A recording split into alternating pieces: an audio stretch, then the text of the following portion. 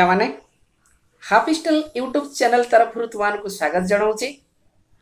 ଆମେ ପୂର୍ବରୁ ବଡ଼ପଣ ସଭ୍ୟ ଜମିଦାର ଏବଂ ତପସ୍ୱିନ୍ୟ ପତ୍ର ପଦ୍ୟର ସମ୍ପୂର୍ଣ୍ଣ ସଫଳତା ପାଇସାରିବା ପରେ ଆମେ ଆଜି କବି ସଚିଦାନନ୍ଦ ରାଉତରାୟଙ୍କ କବିତା ବାର୍ତ୍ତା ପାଠ କରିବା ଯାହା ହଉ ତୁମେମାନେ ଅନେକ ସଂଖ୍ୟାରେ ଉପକୃତ ହେଉଛ ବୋଲି ଜଣାଉଛ ତାହା ହିଁ ମୋ ପାଇଁ ଖୁସିର ବିଷୟ। ତେବେ ଆଜି ଆମେ ଆଉ ବିଳମ୍ବ ନ କରି କବି ସଚିଦାନନ୍ଦ ରାଉତରାୟଙ୍କ ରଚିତ ବାର୍ତ୍ତା କବିତାକୁ ପାଠ କରିବା। ତେବେ ବାର୍ତ୍ତା କବିତାକୁ ପାଠ କରିବା ପୂର୍ବରୁ କବିଙ୍କ ସମ୍ପର୍କରେ ସାମାନ୍ୟ କଥନ କହିଲେ ହୁଏତ ଭଲ ହେବ ବୋଲି ମୁଁ ଭାବୁଛି ତେବେ ବାର୍ତ୍ତା କବିତା ସମ୍ପର୍କରେ କହିବାକୁ ଯାଇ ବା କବିଙ୍କ ସମ୍ପର୍କରେ ଆଲୋଚନା କରିବାକୁ ଯାଇ ହୁଏତ ଏତିକି କହିଲେ ସମୀଚୀନ ହେବ ଯେ ଆଧୁନିକ ଓଡ଼ିଆ କାବ୍ୟ ଜଗତରେ ଏକ ଦିଗନ୍ତ ବିସ୍ତାରୀ ପରିବର୍ତ୍ତନର ସ୍ରୋତ ସୃଷ୍ଟି କରିଥିବା ଜଣେ ମହନୀୟ ସ୍ରଷ୍ଟା ଭାବରେ ବରେଣ୍ୟ କବି ସଚିଦାନନ୍ଦ ରାଉତରାୟଙ୍କ ନାମ ସର୍ବାଗ୍ରେ ପରିଗଣିତ। ପ୍ରାଚୀନ କାବ୍ୟଧାରାର ପ୍ରବହମାନ ଭିତ୍ତିଭୂମିକୁ ପରିବର୍ତ୍ତନର ନୂତନ ପ୍ରବାହ ଉପରେ ଦଣ୍ଡାୟମାନ କରାଇ କବି ରାଧାନାଥ ତାଙ୍କ ସାହିତ୍ୟର ସମଗ୍ର ସରସତାକୁ ଏକତ୍ରିତ କରି ପରୋକ୍ଷ ଭାବରେ ହେଲେ ହେଁ।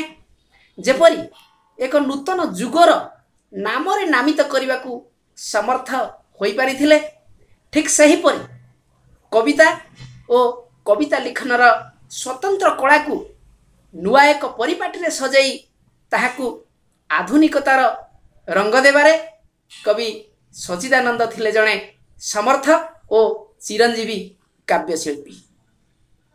ଉଣେଇଶହ ଷୋହଳ ମସିହାରେ ଖୋର୍ଦ୍ଧା ଜିଲ୍ଲା ଗୁରୁଜଙ୍ଗ ଗ୍ରାମରେ ଜନ୍ମିତ ଏହି କାବ୍ୟ କାରିଗରଙ୍କ ଜୀବନ ଜାତକର ଖାଲ ଢିପ ତଥା ହରସ ବିରସ ସମ୍ପର୍କରେ ଆଲୋଚନା କରି ବସିଲେ ସମ୍ଭବତଃ ମନର ପରିକଳ୍ପିତ ପୃଷ୍ଠା ବି କମ୍ ପଡ଼ିପାରେ।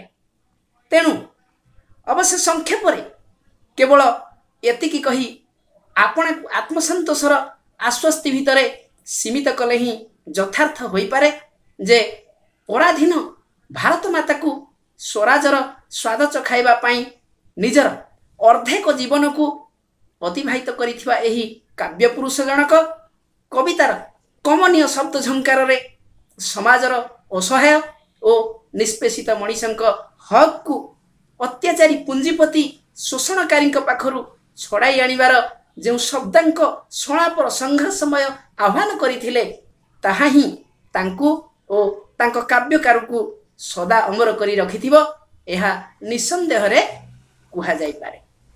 ତେବେ ସେହି ମହାନ ସ୍ରଷ୍ଟାଙ୍କ ଲେଖନୀ ନିଃସୃତ ଗ୍ରନ୍ଥ ସମୂହ ଯଥା ପାଣ୍ଡୁଲିପି ପାଥେୟ ଅଭିଯାନ ବାଜିରାଉତ ପଲ୍ଲିଶ୍ରୀ ଭାନୁମତୀର ଦେଶ ଓ ଚିର ପ୍ରଦୀପ୍ତ ଇତ୍ୟାଦି ଗ୍ରନ୍ଥ ସମୂହ ଓଡ଼ିଆ କାବ୍ୟ ଜଗତର ଗୋଟିଏ ଗୋଟିଏ ଶକ୍ତିଶାଳୀ ମାଇଲ ଖୁଣ୍ଟ ସ୍ୱରୂପ ଅଟେ। ତେବେ ପଠିତ ଏହି କବିତାଟି କବିଙ୍କର ପାଣ୍ଡୁଲିପି କବିତା ସଂକଳନରୁ ସଂଗୃହୀତ ଅଟେ। ସମ୍ଭବତଃ ଏ ପ୍ରକୃତି ପୃଷ୍ଠରେ ଏକ ଶ୍ରେଣୀବିହୀନ ସମାଜ ଗଠନର ଦିବ୍ୟ ଦୃଷ୍ଟି ସାଙ୍ଗକୁ ଅବହେଳିତ ଅସହାୟ ତଥା ନିଷ୍ପେଷିତ ମଣିଷମାନଙ୍କୁ ପୁଞ୍ଜିପତିମାନଙ୍କ ଅତ୍ୟାଚାରରୁ ମୁକ୍ତିର କାମନା କରିବା ହିଁ ଏହି କବିତା ମାଧ୍ୟମରେ କବିଙ୍କର ବିଦ୍ରୋହାତ୍ମକ ଅଭିବ୍ୟକ୍ତି ଅଟେ। ତେବେ ଆମେ ଏଥର କବିତା ଆଡ଼କୁ ଯିବା। କବିତାର ପ୍ରଥମରୁ କବି କହୁଛନ୍ତି ଯେ ଶତାବ୍ଦୀର ସିଂହଦ୍ୱାରୁ ଆସିଅଛି ଦୂତ ଆଣିଅଛି ବାର୍ତ୍ତା ଭବିଷ୍ୟର ଜୀବନର ସମ୍ଭାବନା ଜହିଁ ମୂର୍ତ୍ତିମାନ ନାଇ ଜହିଁ ପ୍ରାଚୀର ପ୍ରାନ୍ତର। କହିଲେ ଶତାବ୍ଦୀର ସିଂହଦ୍ୱାରୁ ଆସିଅଛି ଦୂତ ଶତାବ୍ଦୀ ବୋଲନ୍ତେ କି ଏଠି କାହାକୁ କୁହାଯାଇଛି? ବାସ୍ତବିକ ଶହେ ବର୍ଷରେ ଗୋଟିଏ ଶତାବ୍ଦୀ ହୁଏ। ଅର୍ଥାତ୍ ଶହେ ବର୍ଷର ଲମ୍ବା ସମୟର ଯେଉଁ ଦୀର୍ଘ ପଥ ତାହାକୁ କୁହାଯାଏ ଶତାବ୍ଦୀ। ତେବେ ଏ ଜାଗାରେ କବି ଶତାବ୍ଦୀ ଅର୍ଥାତ୍ ଯୁଗ ଯୁଗର ଏକ ଲମ୍ବା ସମୟର ବ୍ୟବଧାନ ଉଦ୍ଦେଶ୍ୟରେ କହୁଛନ୍ତି ଶତାବ୍ଦୀ ଅର୍ଥାତ୍ ଗୋଟାଏ ଯୁଗ ଉଦ୍ଦେଶ୍ୟରେ କହୁଛନ୍ତି କହିଲେ ଶତାବ୍ଦୀର ସିଂହଦ୍ୱାର ସାଧାରଣତଃ ସିଂହଦ୍ୱାର କେଉଁଠି ଥାଏ ଦେବ ମନ୍ଦିର ସାମ୍ନାରେ ସିଂହଙ୍କର ମୂର୍ତ୍ତି ସ୍ଥାପନ କରାଯାଇଥାଏ ତାଙ୍କୁ ସିଂହଦ୍ୱାର ବୋଲି କୁହାଯାଏ ଓଡ଼ିଆ ମାନଙ୍କର ଇଷ୍ଟ ଦେବତା ପ୍ରଭୁ ଜଗନ୍ନାଥଙ୍କ ମନ୍ଦିର ସାମ୍ନାରେ ଯେଭଳି ଭାବରେ ସିଂହ ସ୍ଥାପନ କରାଯାଇଛି ଠିକ୍ ପ୍ରାୟତଃ ସମଗ୍ର ଦେବଦେବୀ ମନ୍ଦିର ସାମ୍ନାରେ ସିଂହ ପ୍ରତିମୂର୍ତ୍ତି ସ୍ଥାପନ କରାଯାଇଥାଏ ତେଣୁ ସାଧାରଣତଃ ସିଂହଦ୍ୱାର ବୋଲନ୍ତେ କି ଆମକୁ ବୁଝିବାକୁ ପଡ଼ିବ କ'ଣ ନା ଦେବ ମନ୍ଦିର ପ୍ରଭୁଙ୍କର ବା ପରବ୍ରହ୍ମଙ୍କର ଯେଉଁଠାରେ ବସତି ସ୍ଥାପନ ତାହାକୁ ସିଂହଦ୍ୱାର ବୋଲି କୁହାଯାଏ ହଁ କେହି କେହି ରାଜାମାନେ ମଧ୍ୟ ସେମାନଙ୍କର ଉଆସ ସାମ୍ନାରେ ସିଂହ ପ୍ରତିଷ୍ଠା କରିଥାନ୍ତି କିନ୍ତୁ ସାଧାରଣତଃ ବା ଦେବ ମନ୍ଦିରର ସାମ୍ନାରେ ସିଂହଙ୍କର ପ୍ରତିମୂର୍ତ୍ତି ସ୍ଥାପନ କରାଯାଇଥାଏ। ତେଣୁ କବି ଏଠି ପରୋକ୍ଷ ଭାବରେ କୌଣସି ନା କୌଣସି ଦେବ ଅର୍ଥାତ୍ ଦେବତାଙ୍କର ଆଶୀର୍ବାଦ ନେଇ ଆସିଥିବା କଥା ଏଠି ସୂଚନା ଦେଉଛନ୍ତି କହିଲେ ସେ ଶତାବ୍ଦୀର ସିଂହତ୍ୱରୁ ଆସିଅଛି ଦୂତ। ଅର୍ଥାତ୍ ଏକ ଲମ୍ବା ସମୟର ବ୍ୟବଧାନ ଯେଉଁ ଯୁଗ ଗୋଟେ ଯୁଗକୁ ଅନ୍ତ କରେଇ ଦୂତ କିଛି ଗୋଟେ ଖବର ନେଇକିରି ଆସିଛି। ସିଂହଦ୍ୱାର ଅର୍ଥାତ୍ ଦେବତାଙ୍କ ପାଖରୁ ସତେ ଯେମିତିକି ସେ ଗୋଟାଏ ଆଶୀର୍ବାଦ ନେଇକିରି ଆସିଛି ବର ନେଇକିରି ଆସିଛି। କ'ଣ ନେଇକିରି ଆସିଛି? ନା ଆଣିଅଛି ବାର୍ତ୍ତା ଭବିଷ୍ୟର। ଭବିଷ୍ୟ ପାଇଁ ବା ଭବିଷ୍ୟତ ସମୟ ପାଇଁ ଗୋଟାଏ ବାର୍ତ୍ତା ଅର୍ଥାତ୍ ଖବର। ବାର୍ତ୍ତା କହିଲେ ବୁଝନ୍ତି ଖବର। ଗୋଟାଏ ଖବର ନେଇକିରି ଆସିଛି। କୋଉ ଖବର ସମ୍ପର୍କରେ କବି ସୂଚନା ଦେବେ? ନା? କହୁଛନ୍ତି ଜୀବନର ସମ୍ଭାବନା ଯହିଁ ମୂର୍ତ୍ତିମାନ ନାଇ ଯହିଁ ପ୍ରାଚୀର ପ୍ରାନ୍ତର ଜୀବନର ସମ୍ଭାବନା। ଯେଉଁଠି କହିଲେ ସାଧାରଣ ନିଷ୍କପଟ ମଣିଷମାନଙ୍କର ଯେଉଁଠି ବଞ୍ଚିବାର ସମ୍ଭାବନା ରହିଛି ଯେଉଁଠି ନୂତନ ଭବିଷ୍ୟତର ଆଶା ରହିଛି ସେ ଆଶାକୁ ଧୂଳିସାତ କରି ଦିଆଯାଉଛି କେମିତି? ନା ଜୀବନର ସମ୍ଭାବନା ଯହିଁ ମୂର୍ତ୍ତିମାନ ଯେଉଁଠି ଜୀବନ ନୂତନ କରି ଗଢ଼ି ଉଠିବାର ସମ୍ଭାବନା ରହିଛି ବା ଆଶା ରହିଛି? ନାଇ ଯହିଁ ପ୍ରାଚୀର ପ୍ରାନ୍ତର ନାଇ ଅର୍ଥ କ'ଣ? ନା ପରିଧାନ କରିବା। ଏଠି କବି କ'ଣ କହୁଛନ୍ତି ତାହାକୁ ଟିକେ ଲକ୍ଷ୍ୟ କରାଯାଉ। ପ୍ରାଚୀର ଅର୍ଥାତ୍ ପାଚେରୀ ପ୍ରାନ୍ତର ଅର୍ଥାତ୍ ପଡ଼ିଆ ତେବେ ଆକ୍ଷରିକ ଅର୍ଥରେ ତ ଏଠି ଆମେ ପଡ଼ିଆ ବା ପାଚେରୀକି ବୁଝା ପଡ଼ିବନି। ଏଠି କବି କହିବାର ମୂଳ ଲକ୍ଷ୍ୟ ହେଉଛି କ'ଣ? ନାଇ ଅର୍ଥାତ୍ ଲଗେଇ ଯେଉଁ ଜାଗାରେ ବା ଯେଉଁ ସମାଜରେ ଯେଉଁ ଜଗତରେ ନିଷ୍କପଟ ଦରିଦ୍ର ଅସହାୟ ସମଗ୍ର ମଣିଷମାନଙ୍କର ବଞ୍ଚିବାର ସମ୍ଭାବନା ରହିଛି ଆଶା ରହିଛି ସେ ଜାଗାକୁ ଧୂଳିସାତ କରି ଦିଆଯାଉଛି କିଭଳି? ସମାଜରେ ଯେ ନାଇ ଯହିଁ ପ୍ରାଚୀର ପ୍ରାନ୍ତର ଅର୍ଥାତ୍ ପଡ଼ିଆ ଭଳି ଦୀର୍ଘ ପରିବ୍ୟାପ୍ତ କ'ଣ କରାଯାଇଛି? ନା ଗୋଟେ ଉଚ୍ଚ ନିଚର ପାଚେରୀ ଉଠେଇ ଦିଆଯାଇଛି ଏଠି ପ୍ରତିବନ୍ଧକ ଉଦ୍ଦେଶ୍ୟରେ କୁହାଯାଉଛି ପାଚେରୀ। ନାଇଁ ପ୍ରତିବନ୍ଧକ ସୃଷ୍ଟି କରାଯାଇଛି କୋଉଠାରେ?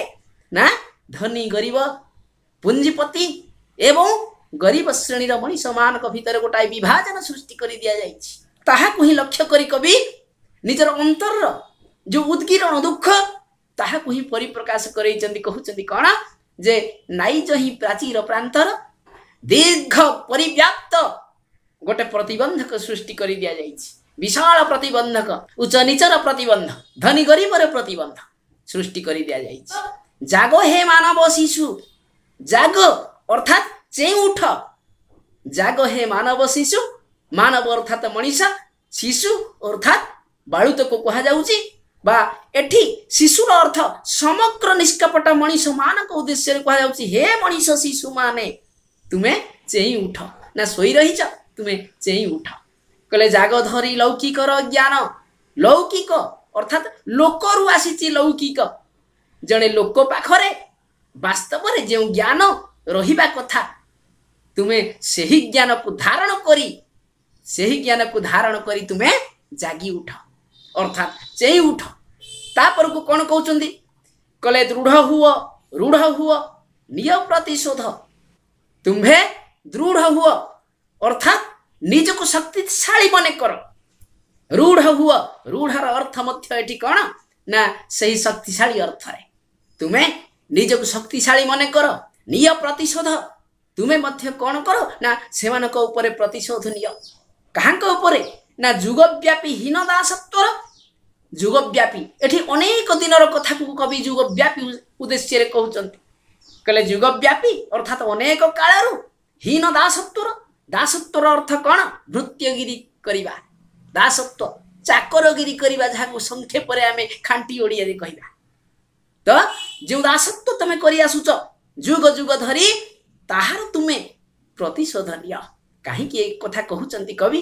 ନା ସମାଜର ଯେଉଁ ନିଷ୍କପଟ ଦରିଦ୍ର ଅସହାୟ ମଣିଷମାନଙ୍କୁ ପୁଞ୍ଜିପତି ମଣିଷମାନେ ସେମାନଙ୍କ ଶୋଷଣର ଶିକାର ସ- ସଜାଇ କ'ଣ କରୁଥିଲେ ସେମାନଙ୍କୁ ଅତ୍ୟାଚାର କରୁଥିଲେ ସେଇମାନଙ୍କ ଉଦ୍ଦେଶ୍ୟରେ ସେଇ ନିଷ୍କପଟ ଦରିଦ୍ର ଅସହାୟ ମଣିଷମାନଙ୍କ ଉଦ୍ଦେଶ୍ୟରେ କବିଙ୍କର ହୃଦୟ କାନ୍ଦି ଉଠିଛି ସମୟ ଆସିଛି ଆଜି ପଚାରିବା ପାଇଁ ଦୀପ୍ତ କଣ୍ଠେ ହେମାନବ ପୁତ୍ର କବି କହୁଛନ୍ତି ଯେ ସମୟ ଆସିଛି ଆଜି ସେ ସମୟ ଆସିଛି ଯୁଗ ଯୁଗ ଧରି ଯେଉଁ ନିଷ୍କପଟ ମଣିଷମାନଙ୍କୁ ସେଇ ପୁଞ୍ଜିପତି ଶ୍ରେଣୀର ମଣିଷମାନେ ଲୁଣ୍ଠନ କରି ଚାଲିଥିଲେ ଅ- ଅତ୍ୟାଚାର କରି ଚାଲିଥିଲେ ଏବଂ ତାଙ୍କୁ କ୍ରୀତଦାସ ପରି ସଜେଇ ରଖିଥିଲେ। ସେ ସମୟ ଆଜି ଆସିଛି ଅନେକ ଯୁଗର ଅବସାନ ଘଟିଛି। ତାଙ୍କୁ ପଚାରିବା ପାଇଁ ଦୀପ୍ତ କଣ୍ଠେ ଅର୍ଥାତ୍ ନିର୍ଭୟ ଭାବରେ ପଚାରିବାର ଅଛି। କ'ଣ? ନା ହେମାନବ ପୁତ୍ର ଏ ମଣିଷମାନେ ଏଁ ସେଇମାନଙ୍କୁ ଆଜି ପଚାରିବା ପାଇଁ ତୁମମାନଙ୍କ ପାଖରେ ଧୈର୍ଯ୍ୟ ଦେବା ପାଇଁ ଦୂତ ଗୋଟିଏ ଖବର ନେଇକିରି ଆସିଛି। କ'ଣ ପଚାରିବା ପାଇଁ? ଏତେ ଦିନ ଶୃଙ୍ଖଳାଟା ଥିଲା କାହିଁ ପାଇଁ? କିମ୍ବା ଥିଲା ଲୌହ କାରାଗାର? କୋଉ ଶୃଙ୍ଖଳାର କଥା ଏଠି କହୁଛନ୍ତି କବି? ଯେଉଁ ଶୃଙ୍ଖଳାରେ ଏ ନିଷ୍କପଟ ଦରିଦ୍ର ସହାୟ ମଣିଷମାନେ ପୁଞ୍ଜିପତି ଗୋଷ୍ଠୀର ମଣିଷମାନଙ୍କ ପାଖରେ କ'ଣ କରୁଥିଲେ ନା କ୍ରୀତଦାସଗିରି କରୁଥିଲେ ଦାସତ୍ୱ କରୁଥିଲେ ସେଇ କଥାଟି ସେଇ ଶୃଙ୍ଖଳାଟି ପାଇଁ କ'ଣ? ନା କିମ୍ପା ଥିଲା ଲୌହ କାରାଗାର? ଆମ ପାଖରେ କ'ଣ ପାଇଁ ଏଭଳି ଶୃଙ୍ଖଳା ଥିଲା? ଆମ ଗୋଡ଼ରେ ହାତରେ ବେଡ଼ି ପକେଇ ଦିଆଯାଇଥିଲା। ବାସ୍ତବରେ କ'ଣ ସେମାନଙ୍କ ହାତ ଗୋଡ଼ରେ ବେଡ଼ି ପକେଇ ଦିଆଯାଇଥିଲା? ନା। ତ ଏଇ ଦାସତ୍ୱ ରୂପକ ବେଡ଼ି ରେ ବନ୍ଧନ କରି ସେମାନଙ୍କୁ ରଖାଯାଇଥିଲା। ସେମାନେ କ୍ରୀତଦାସଗିରି କରୁଥିଲେ। ସେଇ ବେଡ଼ିର କଥା କବି ଏଠି ପ୍ରଶ୍ନ ଉଠେଇଛନ୍ତି। କହିଲେ ଯୁଗ ଯୁଗ ଧରି ଯେତେ ଭୀମ ଅତ୍ୟାଚାର ପୀଡ଼ା ଦେଲା ମାନବ ଆତ୍ମାକୁ ଅର୍ଥାତ୍ ଅନେକ ଯୁଗ ଧରି ଯୁଗ ଯୁଗରୁ ଯେତେ ଭୀମ ଅତ୍ୟାଚାର ଭୀମ ଅର୍ଥାତ୍ ଏଠି ଜଟିଳ ଦାରୁଣ ଯନ୍ତ୍ରଣାକୁ ବୁଝାଯାଉଛି କଠୋର ଯନ୍ତ୍ରଣା ଉଦ୍ଦେଶ୍ୟରେ କୁହାଯାଉଛି ଭୀମ ଅତ୍ୟାଚାର ଜଟିଳ ବା ଦାରୁଣ ଯନ୍ତ୍ରଣା ଯୁଗ ଯୁଗ ଧରି ତୁମମାନଙ୍କ ଉପରେ ଯେଉଁ ଦାରୁଣ ବା କଠୋର ଅତ୍ୟାଚାର ସେଇ ପୁଞ୍ଜିପତି ଶ୍ରେଣୀୟ ମଣିଷମାନେ କରି ଚାଲିଥିଲେ ଏବଂ କ'ଣ କରୁଥିଲେ ନା ପୀଡ଼ା ଦେଲା ମାନବ ଆତ୍ମାକୁ ଯେଉଁ ଅତ୍ୟାଚାର ଫଳରେ ଯୁଗ ଯୁଗରୁ ତୁମରି ମାନଙ୍କ ପରି ମଣିଷମାନଙ୍କ ଉପରେ ସେଇ ପୁଞ୍ଜିପତି ଶ୍ରେଣୀର ମଣିଷମାନେ ଯେଉଁ ଜଟିଳ ଯନ୍ତ୍ରଣାକୁ ଦଉଥିଲେ ତୁମ ଆତ୍ମାକୁ ଯେଉଁ ବାଧା ବିଘ୍ନ ପହଞ୍ଚିଛି ତାର ପ୍ରଶ୍ନ ପଚାରିବା ପାଇଁ ତାର ପ୍ରତିଶୋଧ ନେବା ପାଇଁ ଏବେ ସମୟ ଆସିଛି। ମାଗିବାକୁ କୈଫତ ଆଜି ତ ତାହାରି ବେଳ ହେଲା ହେରୁଦ୍ର ଭୈରବ ମାଗିବାକୁ କୈଫତ। ଅର୍ଥାତ୍ ତାର କାରଣ ପଚାରିବାକୁ ଆଜି ସମୟ ଆସିଛି। କୋଉ କାରଣ? ଯୁଗ ଯୁଗ ଧରି ଯେଉଁ ଭୀମ ଅତ୍ୟାଚାର ଅର୍ଥାତ୍ କଠୋର ଯନ୍ତ୍ରଣା ଯୋଉ ଦେଇ ଆସୁଥିଲେ ତୁମକୁ ଦାସତ୍ୱର ଗିରିରେ କ'ଣ କରୁଥିଲେ? ସେମାନେ ସେମାନଙ୍କ ପାଖରେ ଖଟଉଥିଲେ ଅତ୍ୟାଚାର କରୁଥିଲେ। ତାହା ପଚାରିବା ପାଇଁ ଏବଂ ତା ବିରୁଦ୍ଧରେ ପ୍ରତିଶୋଧ ନେବାର ବେଳ ଆଜି ଆସିଛି। ବେଳ ହେଲା ହେରୁଦ୍ର ଭୈରବ। ଏଠି କବି ଭୈରବ କଥା ଉଠଉଛନ୍ତି ଭୈରବ ବୋଲନ୍ତେ କି ଶିବ ଶଙ୍କରଙ୍କୁ ଭୈରବ ବୋଲି କୁହାଯାଏ ଯେଭଳି ଭାବରେ ଶିବଙ୍କର ଅନ୍ତର୍କୋପ କ'ଣ ହେଇଯାଏ ବଢ଼ି ବଢ଼ିଯାଏ ଏବଂ ତାଥରୁ ଜନ୍ମ ନିଏ କ'ଣ ନା ତାଣ୍ଡବ ନୃତ୍ୟ ଠିକ୍ ସେଇଭଳି ଭାବରେ କବି ଏଠି ସୂଚନା ଦେଉଛନ୍ତି ଯେ ତୁମମାନଙ୍କ ମଧ୍ୟରେ ମଧ୍ୟ ସେଇ ଭୈରବ ଗୁଣ ଜାଗ୍ରତ ହେଇ ଉଠୁ ତୁମେମାନେ ମଧ୍ୟ ସେଇଭଳି ପ୍ରଶ୍ନ କର ପ୍ରତିଶୋଧ ନିଅ ସେମାନଙ୍କୁ ଯେ ଯୁଗ ଯୁଗ ଧରି ଯେଉଁ ଅତ୍ୟାଚାର ଆମ ଉପରେ ଦେଉଥିଲା ତାହା କାହିଁକି ଥିଲା? କାହିଁକି ସେ ଅତ୍ୟାଚାର ଥିଲା? ଆମକୁ କାହିଁକି ସେ ଲୌହର କାରାଗାର ଭିତରକୁ ଠେଲି ଦିଆଯାଇଥିଲା? ଦାସତ୍ୱ ରୂପକ ଲୌହ କାରାଗାର ଭିତରକୁ ଆମକୁ କାହିଁକି ଠେଲି ଦିଆଯାଇଥିଲା? ତେବେ ପିଲାମାନେ ଏ ପାଠ୍ୟକ୍ରମକୁ ଆମେ ଏଇଠି ରଖିବା। ପୁଣି ପରବର୍ତ୍ତୀ ଭାଗରେ ଅବଶିଷ୍ଟାଂଶ ପାଠ କରିବା। ତେବେ ଗଲାବେଳେ ତୁମକୁ ସେଇ ଗୋଟିଏ ଅନୁରୋଧ କରିଯାଉଛି। ଯଦି ତୁମମାନଙ୍କୁ ମୋ ପାଠ ପଢ଼ାଇବାର ଧାରା ଏବଂ ଶୈଳୀ ଭଲ ଲାଗୁଛି ତା ସଙ୍ଗେ ସଙ୍ଗେ ଏ ଭିଡ଼ିଓଟି ମଧ୍ୟ ପସନ୍ଦ ଲାଗୁଛି ଏବଂ ଏପର୍ଯ୍ୟନ୍ତ ଯଦି ମୋର ଚ୍ୟାନେଲକୁ ସବସ୍କ୍ରାଇବ୍ କରିନାହ ତେବେ ମୋର ଏହି ଭିଡ଼ିଓଟି ତଳେ ଡାହାଣ ପଟେ ଅର୍ଥାତ୍ ରାଇଟ୍ ହ୍ୟାଣ୍ଡ ସାଇଡ୍ରେ ନାଲିରେ ଲେଖାଥିବା ସବସ୍କ୍ରାଇବ୍ ବଟନ୍ ଉପରେ କ୍ଲିକ୍ କରିଦେବା ସଙ୍ଗେ ସଙ୍ଗେ ପାଖରେ ଥିବା ଘଣ୍ଟି ଚିହ୍ନ ଉପରେ ମଧ୍ୟ କ୍ଲିକ୍ କରିଦିଅ। ଯାହାଫଳରେ ମୁଁ ଅପଲୋଡ଼ କରୁଥିବା ସମସ୍ତ ଭିଡ଼ିଓ ଗୁଡ଼ିକର ସୂଚନା ତୁମ ପାଖରେ ସର୍ବପ୍ରଥମେ ପହଞ୍ଚିଯିବ। ଆଉ ହଁ ମୋର ଏ ଭିଡ଼ିଓଟି ତୁମକୁ ଯଦି ପ୍ରକୃତରେ ପସନ୍ଦ ଲାଗୁଥାଏ ତେବେ ବାମ ପାଖରେ ଥିବା ଥମ୍ ଚିହ୍ନ ଉପରେ ଗୋଟିଏ ଗୋଟିଏ ଲାଇକ୍ କରିବାକୁ ଭୁଲିବେ ନାହିଁ। ଆଉ ହଁ ତୁମମାନଙ୍କର ସାଙ୍ଗସାଥି ଯେଉଁମାନେ ଏଭଳି ପାଠ୍ୟକ୍ରମ ପଢ଼ିବାକୁ ଚାହୁଁଛନ୍ତି କିନ୍ତୁ ଜାଣିପାରୁନାହାନ୍ତି ଏଭଳି ଭିଡ଼ିଓ ସମ୍ପର୍କରେ ସେଇମାନଙ୍କୁ ତୁମେ ସେମାନଙ୍କ ସହିତ ଗୋଟିଏ ଗୋଟିଏ ସେୟାର କରିବା ପାଇଁ ଅନୁରୋଧ ରହିଲା। ତେବେ ପରବର୍ତ୍ତୀ ଭାଗ ପର୍ଯ୍ୟନ୍ତ ଅପେକ୍ଷା କରି ସମସ୍ତଙ୍କର ସୁଖ ଏବଂ ଶାନ୍ତି କାମନା କରି ରହୁଛି। ଧନ୍ୟବାଦ ପିଲାମାନେ।